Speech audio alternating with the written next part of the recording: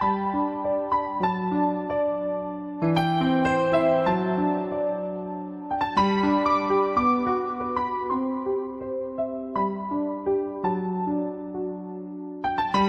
welcome to our e-telecast, God Has a Word for You. And I'm Pastor Aminata. And we are still on the theme, the surrendered sown self. Well, have you been in examining yourself? Uh, are you sown? Have you been sown by God? Have you allowed yourself to go through God's process? Have you allowed self to, to surrender totally, unconditionally to God. You know, you, you have to often wonder when you think about it. Uh, in any just about any Sunday, the churches are packed out all over the country, all over the world. How many people are really, really, totally surrendered to God?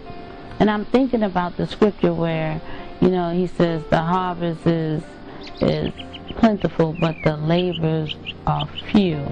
The laborers are few. And why is that? You know, a lot of people just think that, oh, I have to be an ordained minister to, to work for God, but that's not true. All of us are ministers for God. If you're saved, you are a minister because minister means servant. And each of us are servants of God, and we need to stay before God's face so that we can find out what God wants from us because there's a job for each of us to do. But it's the process of God making us into what He wants us to become. That's the thing that gets a little scary when you stop to think about it. So we was coming out of uh, John chapter 12, verse 24 where he says, Most assuredly I say to you that unless, remember we covered that the last time, a grain of wheat falls into the ground and dies, it remains alone. But if it dies, it will produce much grain. And again, looking at the fact that unless, which is conditional, this is not going to happen except that happens. It's not going to happen. I'm not going to be able to produce much fruit or grain unless I fall into the ground and die. And then we looked at the word fall in the Greek, which means to fall so hard as if you was a corpse. which means there's nothing left to me. You know, I'm all God's. I'm totally surrendered to Him. But now, before you say yes or before you say, you know what, I'm willing to do this, I, I'm willing to take that step, I want to caution you. Hold it. I want you to look before you leave. Yes, I am saying, don't you just say, okay, okay, I'm going to fall, I'm going to do it right now. Whoa, hold it, hold it, hold it. I want you to look before you leave.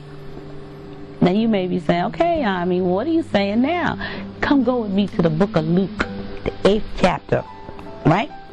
Now, this is the parable of the uh, of the sower and the seeds, or the parable of the soil. It depends on what Bible you have. But in it, it talks about how the seeds fell in different places. There were seeds that fell um, on by the wayside. There were seeds that fell on stony ground or between the rocks. There were seeds that fell among the thorns.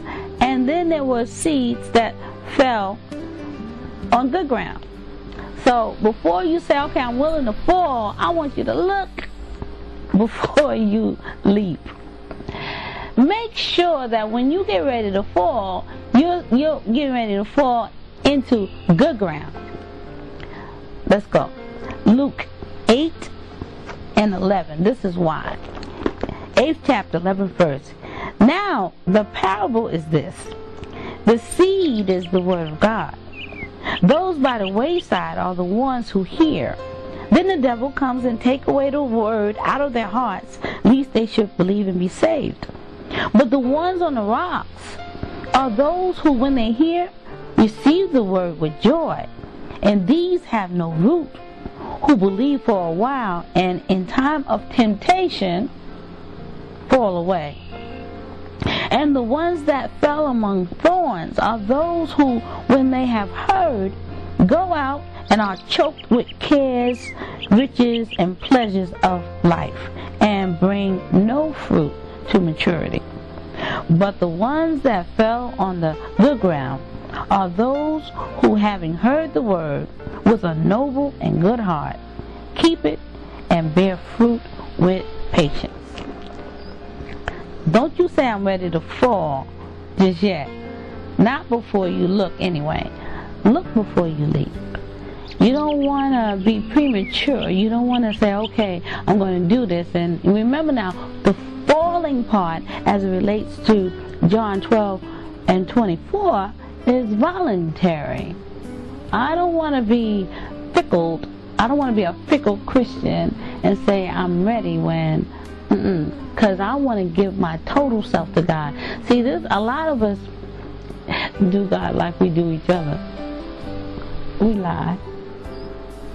You know, we say one thing and we do another.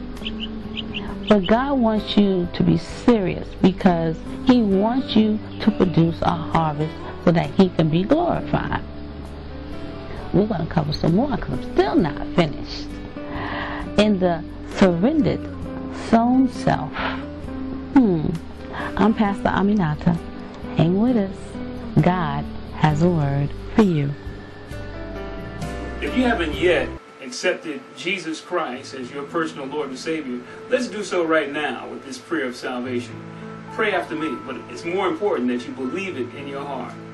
Father God, I believe your word, and your word says that if I confess with my mouth the Lord Jesus and believe in my heart that God has raised him from the dead, that I will be saved. So right now I put my trust in you, Jesus Christ, as my personal Lord and Savior. I admit that I'm a sinner and that I need God in my life. So I believe that Jesus Christ is the Son of the living God. Amen.